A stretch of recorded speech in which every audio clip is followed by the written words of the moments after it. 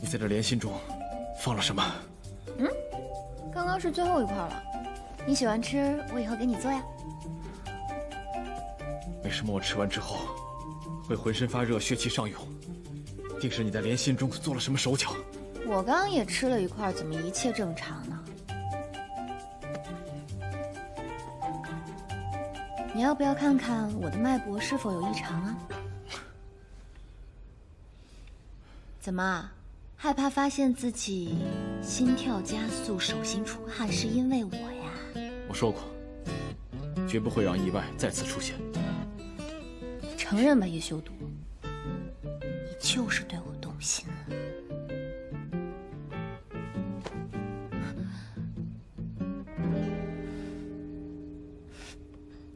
配合我。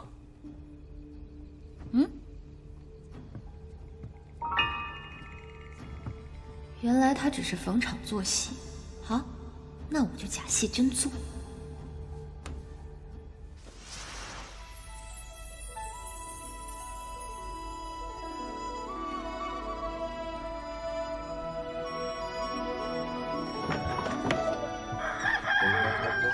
你们俩在干嘛呢？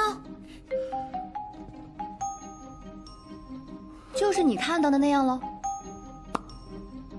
师傅，这是真的吗？你怎么和他一起来了？我要再不来，你都被人勾走了。师傅，你来惊雷国居然不带着我，还和这个女人。李大哥，你怎么跟这个小丫头一起来了？说谁小丫头呢？啊，我们听说惊雷国因为仗义闭了关口，所以就去找上官世子讨要了文书，匆忙赶来。本想助你们一臂之力，却没想你们已经找到了通关的方法。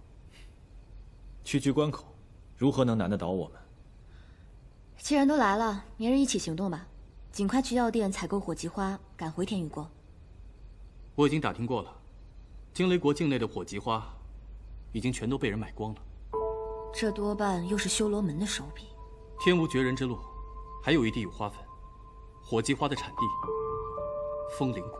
风铃谷，听这名字像是一个世外桃源。实则是个有去无回的凶险之地。